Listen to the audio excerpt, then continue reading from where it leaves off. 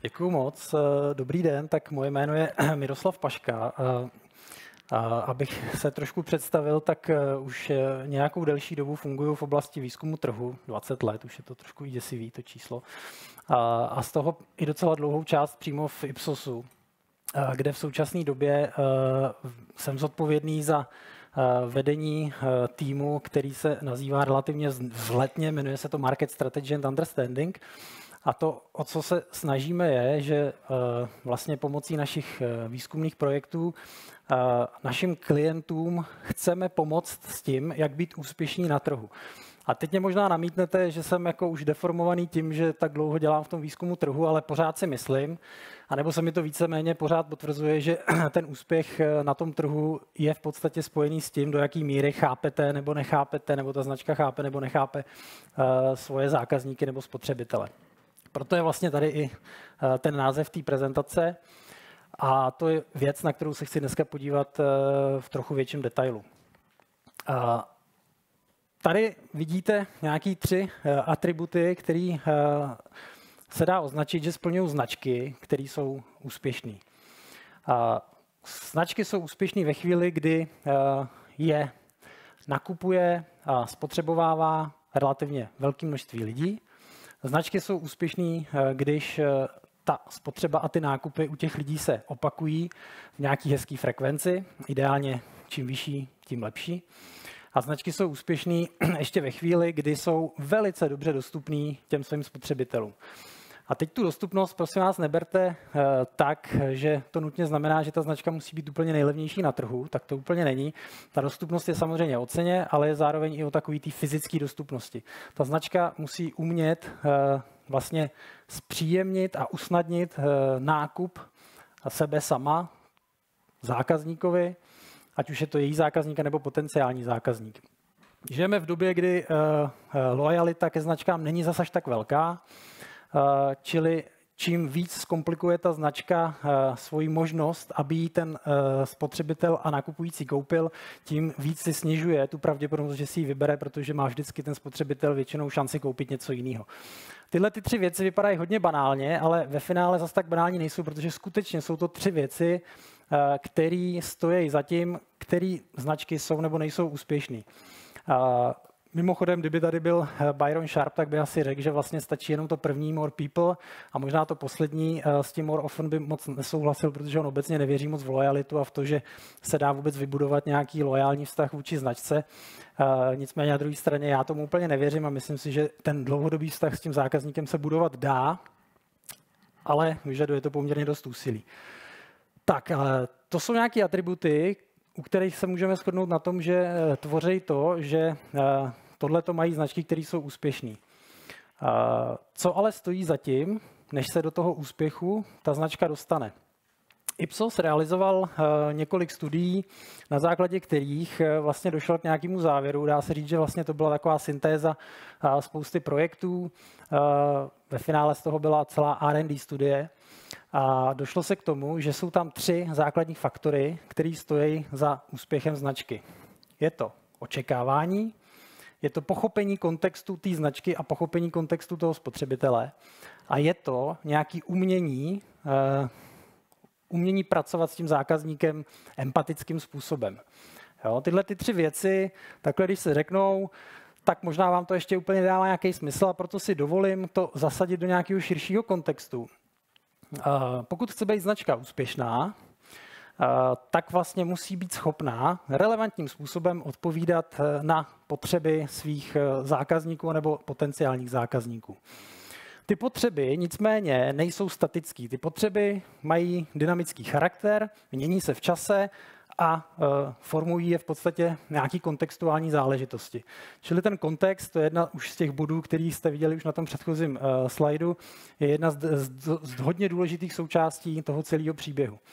Samozřejmě značky se snaží reagovat na ty potřeby tak, že nabízí zákazníkům nějaké benefity, které někdy jsou lepší, někdy jsou horší. Ty úspěšnější značky dokážou ty benefity nabízet samozřejmě hezky a smysluplně tak, aby to tomu zákazníkovi smysl dávalo a aby se to protnulo s těma potřebama, které ten člověk má. Každý z nás má nějaká očekávání vůči různým kategoriím na trhu, každý z nás má nějaká očekávání vůči značkám, proto je tady to očekávání.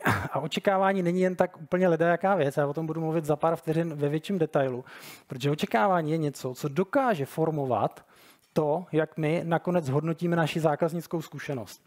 Buď ji hodnotíme pozitivně, nebo ji můžeme hodnotit negativně, a nebo ji můžeme hodnotit tak nějak neutrálně, ale i když jsme už neutrální, tak to už není jako nic eh, extra eh, zajímavého z hlediska eh, toho zákazníka. A ve finále je tady i ten bod té empatie, protože pokud ta značka chce nějakým způsobem formovat očekávání těch lidí smysluplným způsobem, tak, aby nakonec člověk měl ten pozitivní zákaznický moment nebo tu pozitivní zákaznickou zkušenost, tak ta značka to musí dělat empaticky. Musí to dělat prostě tak, aby to rezonovalo správným způsobem v uších a očích těch lidí. Takže tady je ten příběh toho celého. Eh, tady jsou znova vypíchnuty ty tři základní faktory, které stojí za úspěchem značky a navíc tam vidíte, že jsme k tomu přidali i vlastně nějakou váhu. Do jaké míry tyhle ty faktory mají tu schopnost ovlivnit eh, úspěch značky na trhu. Když bychom z toho vyhodili ten kontext, tak vidíte, že přicházíme o celou polovinu toho příběhu. A ten kontext je velice důležitý právě z hlediska toho pochopit uh, toho zákazníka. Nicméně, pojďme se podívat nejdřív na ty uh, expectations. Uh, půjdu teď mimo rámec marketingu trošku. Možná, že jste doteďka žili všichni v tom, nebo ne všichni, ale většina z vás v tom, že situace v životě, které se vám dějou, se vám dějou tak nějak jako bez toho, že byste je byli schopni nějak ovlivnit. Že to prostě přichází, eh, zkušenosti nabýváte tak, jak prostě váš život plyne. Nicméně to není tak úplně pravda, protože poslední nějaký eh, moderní eh, výsledky různých neurovědeckých přístupů a tak dále potvrzují a ukazují, že my nejsme jenom pasivní příjemci toho, co se nám v životě děje, ale jsme samozřejmě aktivní tvůrci toho, co se nám v životě děje, jak to prožíváme. Je to hodně podobné tomu, když se třeba dneska mluví o nastavování mindsetu. Pozitivně si nastavte mindset a pak vám všechno půjde, budete prostě úplně skvělí. Ale je to tomu hodně podobný. Hodně s tím pracují ty e, mentální koučové, e, koučové pro osobní rozvoj a tak dále a tak dále. Je, David Robson napsal knížku, která se jmenuje The Expectation Effect je tam spousta zajímavých eh, příkladů toho, jak očekávání, které my máme vůči nějakým situacím, skutečně dokážou ovlivnit to, jak my ty situace následně vyhodnocujeme.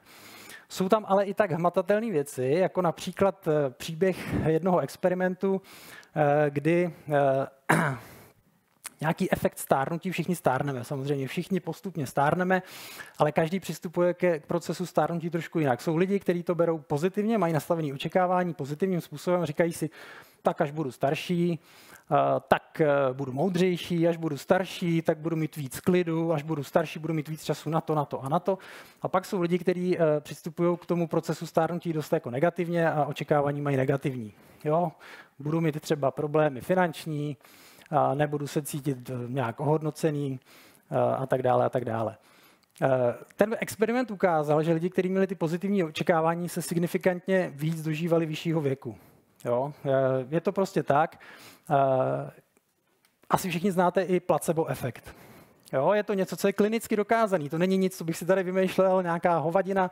Prostě je klinicky dokázaný, že placebo efekt existuje, funguje a dokonce jsou jednoznační důkazy o tom, že třeba v Americe, v Severní Americe funguje daleko víc ten placebo efekt než v Evropě.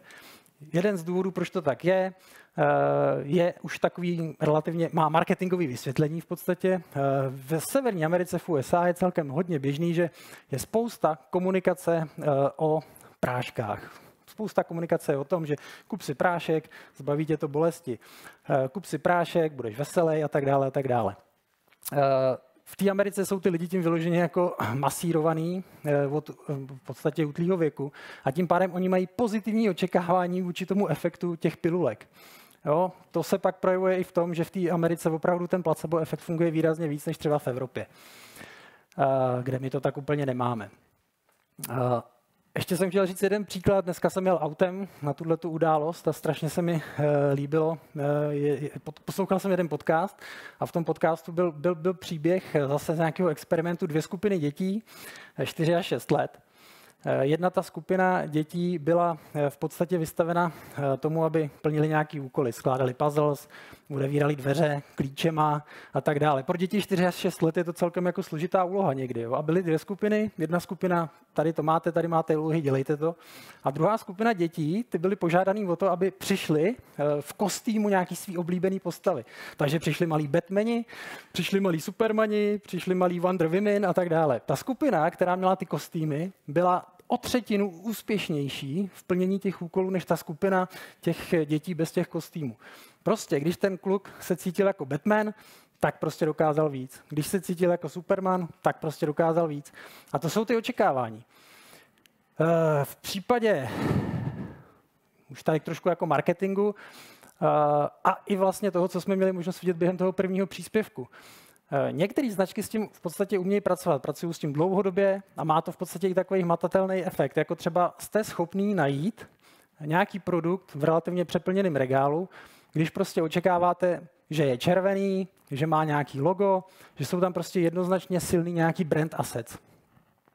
Tady na případě té Coca-Coly je to celkem zřejmé. Prostě asi většina z nás opravdu ví, jak vypadá logo Coca-Coly, jak vypadá obal Coca-Coly a velice rychle jsme schopni tu Coca-Colu najít i, i v tom přeplněném regálu.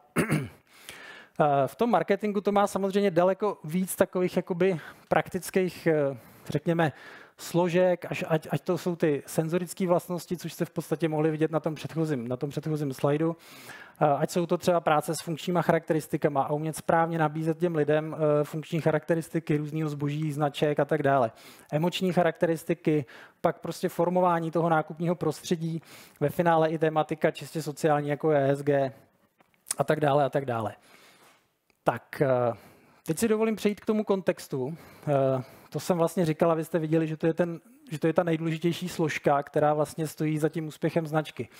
Proč to tak je? Protože nikdo z nás se nepohybuje v nějakém váku. Každý z nás děláme rozhodnutí o tom, jak se budeme spotřebitelsky chovat nebo co nakoupíme v nějakém kontextu.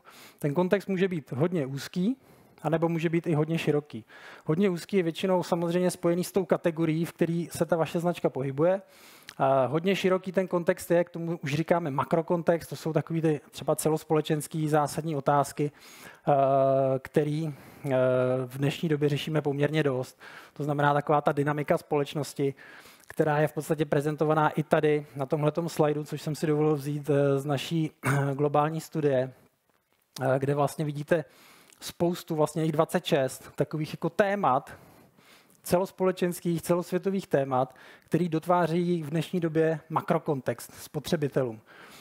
Těch 26 eh, témat je rozdělených do nějakých šest základních oblastí. Myslím si, že to je udělané vlastně docela hezky, ta klasifikace. Eh, třeba ta první část, eh, taková ta sociální dynamika v podobě toho, že prostě populace stárne že tady máme migraci, že tady máme migraci národní i mezinárodní. To jsou všechno věci, které se samozřejmě používají při eh, politických kláních dost často, eh, ale jsou tam i věci typu inflace, což je v tom třetím sloupci, eh, což pak samozřejmě výrazným způsobem ovlivňuje to, jak se spotřebitelé chovají, co si můžou dovolit, co si nemůžou dovolit, jak moc intenzivně přemýšlí o tom, kterou značku budou preferovat před jinou a tak podobně a tak podobně. Je tam i téma hodně široký, vlastně takový ten za, brutální vývoj technologií, který nám zasahuje do našich životů eh, na různých úrovních. Těch témat je tam celá řada. Když se podíváme čistě specificky na českou populaci, tak je dobrý, když uvažujete o svých strategiích a o své značce o tom, že tady máme nějaké obavy. Tady vlastně vidíte top 3 obavy českých lidí. Uh, ozbrojený konflikt mezi národy je na prvním místě. Jo, v mezinárodním srovnání jsme dokonce číslo dva, mimochodem za Izraelem. Jo. Česká republika je za Izraelem v obavách z mezinárodního konfliktu. U Izraele mi to dává naprostý smysl. České republiky uh, je to otázka, samozřejmě máme tady velice blízko konfliktu Ukrajina-Rusko, ale jsou tady ještě jiný národy, které jsou k tomu ještě blíž. Ale my to máme hned za Izraelem jako na druhém místě. A pak je tady otázka nějaký uh, inflace, chudoby, sociální nerovnosti. 53% českých domácností uh, vydává svoje výdaje, teda pardon, 53%. 53% výdajů českých domácností tvoří tři věci. Bydlení, včetně energií, jídlo a doprava. Jsou to tři věci, které byly šíleným způsobem ovlivněny právě inflací. A tvoří to víc než polovinu výdajů domácností. A pak tady vidíte e, za mě docela trošku děsivý údaje. 12% domácností z hlediska finančního zdraví v podstatě nemá finanční rezervu. Nemá. Prostě když přijdou o svoje příjmy, víceméně nevydrží ani měsíc. Jo? 40% z hlediska nějaký základní definice e, finančního zdraví jsou na tom tak, že vlastně nevydrží díl než tři měsíce. Jo? Z hlediska té definice finančního zdraví se říká, že ty tři měsíce je takový minimum, rozumný minimum na to, aby eh, se dalo říct, že ta domácnost je, je, je finančně zdravá. A potom zajímavý údaj, který už není takový ten jako hodně tvrdý, ale 81% Čechů deklarovalo, že byli eh, v podstatě buď spíše, nebo velmi šťastní ještě v roce 2018 a byly to výsledky, které byly nadprůměrný, vysoce nadprůměrný zase v mezinárodním srovnání. V roce 2023 to kleslo na 62% a dostali jsme se hluboko, hluboko pod průměr. Jo? Takže ta dynamika uh, tam je patrná. Když se na to podíváme z hlediska generací, tak uh, si myslím, že je docela hezký podívat se na to, jak je vnímána vlastně ta nejzásadnější uh, obava, což je ten ozbrojený konflikt mezi generacemi. U baby boomers generace X je to výrazně víc než u generace Y a generace Z. Ty interpretace můžou být různý, například to, že generace baby boomers a generace X mají v blahý paměti eh, to, jak vypadala okupace. Byť samozřejmě generace X to nutně nemusela zažít úplně tak, že přijeli ty tanky, ale moc dobře věděli, že někde za rohem v kasárnách jsou ruský vojáci.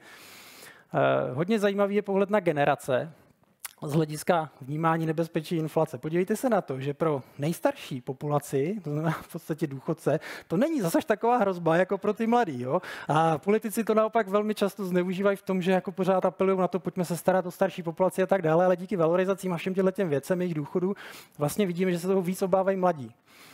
A hodně zajímavý je to vidět i v případě toho, že takovýto upadnutí do chudoby nebo ta sociální nerovnost je zase daleko víc téma pro generaci Y a generaci Z, než pro ty starší ročníky. Eh, a potom naopak pro starší ročníky eh, tady máme eh, takovýto, takovýto znechucení to moderní společnosti a tím, že vlastně zažíváme nějaký morální úpadek. U těch mladých ještě stojí za zmínku, že oni už přemýšlí prostě hodně environmentálně. U ostatních generací nevidíte, že by tak řešili tu, environment, tu environmentalistiku a tyhle ty problémy s tím spojený jako generace Z.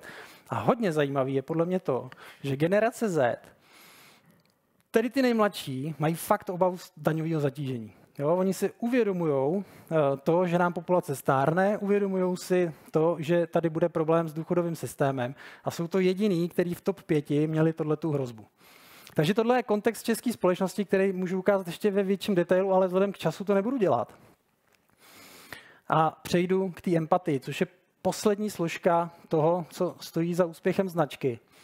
A vzhledem k tomu, že ty hrozby jsou jako poměrně jasně daný, na tom stole tady ležejí, všichni si to uvědomujeme, tak se otevírá prostor značkám, aby právě v takovém jako v úzovkách poli krizovém období eh, jednali empaticky vůči svým spotřebitelům a v podstatě jim nějakým způsobem přispívali k jejich, k jejich životům. Pokud to ta značka umí dělat dobře, tak eh, z toho může nějakým způsobem těžit. Samozřejmě znamená to chápat správně potřeby těch lidí, znamená to umět na to správným způsobem zareagovat a hlavně empaticky správně. To znamená tvořit ty věci tak, aby nešlo jenom o ten obsah, ale i o tu formu, jak to ty značky dělají. Je to problematika ESG, je to problematika eh, vlastně nějakého customer care nebo customer support, eh, může to být i otázka nějaký personalizované komunikace, eh, anebo třeba i to, jakým způsobem budete prezentovat benefity svých značek skrze nějaký obsah, který generují samotní uživatelé, protože to je něco, co třeba vyvolává důvěryhodnost u spotřebitelů. Ukážu ještě na závěr jednu věc. A dovolím si potom eh, vypůjčit značku DM eh, k tomu, abych ukázal právě to, jak eh, ona empaticky pracuje se svými lidmi nebo se svými zákazníky. Je to vlastně výsledek naší studie, kde jsme řešili to, jak blízké nebo naopak vzdálené jsou nám některé značky na trhu. Je to mix různých kategorií. Na prvním místě tam je Lidl, ale na relativně vysokých příčkách se objevilo i to DM, a to jsem si teda dovolil vypůjčit.